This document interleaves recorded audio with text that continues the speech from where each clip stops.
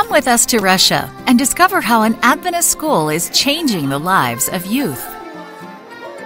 Masha was discouraged, and the future seemed dreary. This broke her mom's heart, and she had an idea.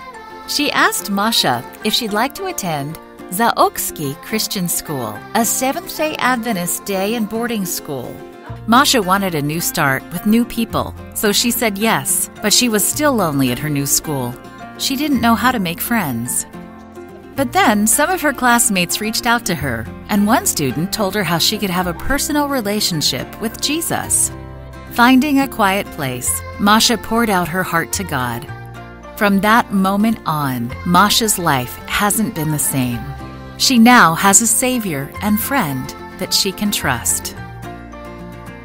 Zaoksky Christian School has been operating in Russia since 1993, and many students have been blessed by Adventist education. There are many advantages. The food is good here. The second plus is that the teachers here are all happy. They treat their students well. But most importantly, many students come to know Jesus as their Savior, just like Masha did. I've worked in the elementary school with the preschoolers and see how the little children who haven't even heard about God come to us after hearing about Him and are very happy. Their eyes shine when they begin to believe that God helps them with all of their difficulties in everything that they do. When the school began, there were only four teachers and a few students. The school used classrooms on the campus of Zaoksky Adventist University. The number of students gradually grew, and today we have 200 students. In fact, we don't do any advertising at school or in the village. People talk about our school themselves.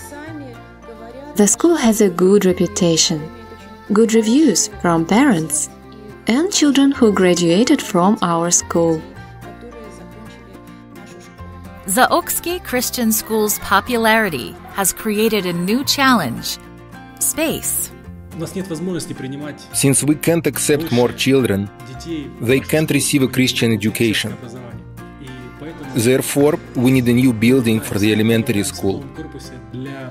A portion of this quarter's 13th Sabbath offering will help Zaoksky Christian School construct its own school building on the campus of the Adventist University.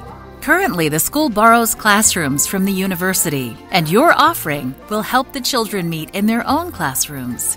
Thank you for your generous support of Adventist education in Russia. It's changing the lives of children like Masha.